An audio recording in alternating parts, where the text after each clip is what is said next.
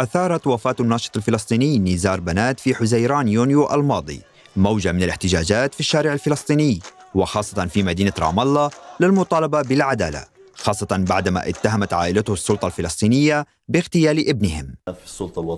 المتحدث باسم الأجهزة الأمنية الفلسطينية طلال دويكات أعلن أن تهمة الضرب المفضي إلى الموت وجهت إلى جميع ضباط وعناصر القوى الأمنية الذين شاركوا بتنفيذ مهمة إلقاء القبض على نزار بنات وعددهم 14 عنصر وبحسب المتحدث باسم الأجهزة الأمنية فقد تم توجيه تهمة الضرب المفضي إلى الموت بالاشتراك وإساءة استخدام السلطة ومخالفة التعليمات العسكرية إلى قائد المهمة والضباط والعناصر الآخرين وذلك استنادا إلى قانون العقوبات العسكري للعام 1979 إدويكات أشار إلى أن القضية أحيلت إلى المحكمة العسكرية المختصة بهدف إجراء المحاكمة وفق الأصول القانونية.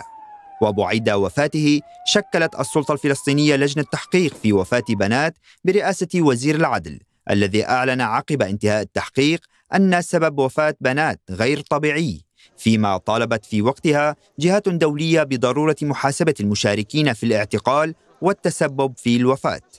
وعرف نزار بنات بمقاطع فيديو نشرها على مواقع التواصل الاجتماعي انتقد فيها السلطة الفلسطينية التي يرأسها محمود عباس متهمين إياها بالفساد.